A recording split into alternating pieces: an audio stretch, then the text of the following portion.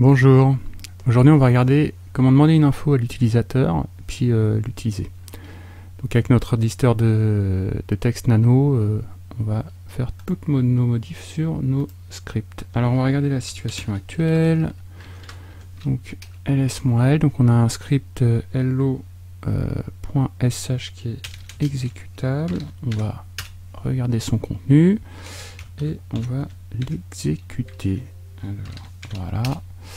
Donc voilà, donc on exécute ce script, ça nous marque hello Bobby. Nous, on va, on veut demander le prénom à l'utilisateur et afficher hello de ce prénom.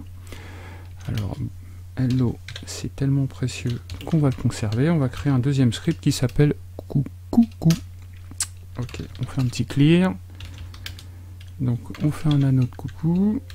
Voilà. Et ici, dès le début, on va dire, on va dire à l'utilisateur qui est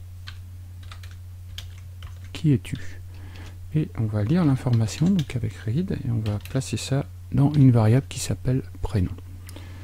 On sauvegarde pour voir ce que ça donne. Et donc on y va, on exécute. Donc coucou, qui es-tu? Alors admettons que je sois Joe. Et là il me marque toujours Hello Bobby. Donc on s'est bien arrêté pour demander euh, pour écrire un texte. On a récupéré une info, donc demande donnée par l'utilisateur, mais on ne l'a pas utilisée. Donc on va utiliser cette info. Donc au lieu de Bobby, on va ici mettre le contenu de la variable. Donc c'est $prénom. Le même euh, voilà, nom de la variable qui est ici, on l'affiche. On, on fait un CTRL X, on sauvegarde, on refait un petit clear pour être voilà, au clair, et on y va. Donc ah bah, je vais faire un 4 de coucou pour être... Euh, voilà, donc ça c'est notre programme actuel, et là on l'exécute. Qui es-tu? Joe. Hello Joe. Donc pas mal, ça a l'air de bien fonctionner. On va refaire quand même un deuxième essai avec Bobby, parce qu'on va été chez Bobby. Et ça fonctionne.